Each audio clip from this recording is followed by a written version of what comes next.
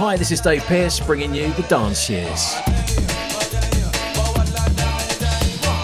The basic concept of the dance years is a celebration of dance music for the last 20 years and uh, categorising each year, each sort of musical journey. And it's really interesting looking back from the very, very early days of sort of uh, 88, 89, the end of the acid house era. Then we go into rave, and then it all basically kicks off uh, from then on right the way through the Ibiza period and, and what's going on now. So it's a journey through dance music, a bit of education, and just some great big tunes. It's interesting looking at how production styles uh, vary over the years. I must admit, I quite like the rave era because I was involved in uh, running little record labels then, and actually we made some records on like four track and eight track, and they sounded really raw and noisy and loud, which was cool. I mean, obviously technology's moved on, but in a way, I think you can't beat some of those early keyboard sounds and some of the old rave records. So it's, it's an interesting journey.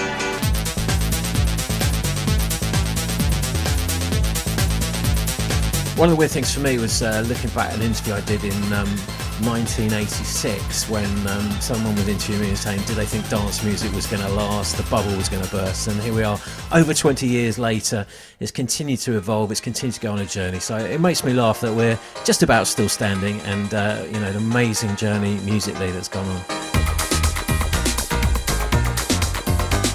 I must admit, I'm quite surprised how international dance music became and how important the UK and UK DJs became in that in that whole movement. Because uh, when I first started DJing, all the records came out of New York and Chicago, and that's represented in our early albums. And then suddenly, from about '91 onwards, we get rave, British producers, British DJs. Then the Europeans get involved with more electronic sounds and trance, and the whole thing becomes a global phenomenon, very much led by the UK as well. So it's interesting to look back and see how New York's crown was taken away by the Brits.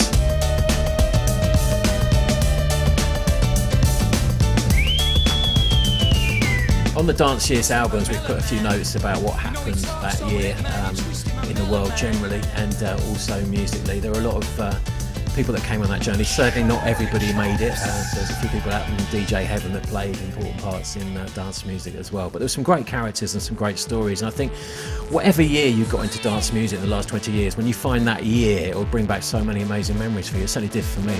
Just dance, move your body.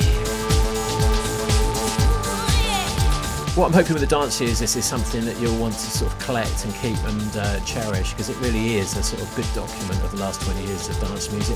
We're doing the first five albums and then there'll be another batch of five and, and then it goes on. Well, we're going to document the first 20 years of dance music for you. Uh, the question is, where's it going to go next? Well, it will keep evolving. As we know, there's uh, always new tribes and new styles that keep coming through. So hopefully, somebody will be around to do the next 20 years after this. But for the moment, enjoy.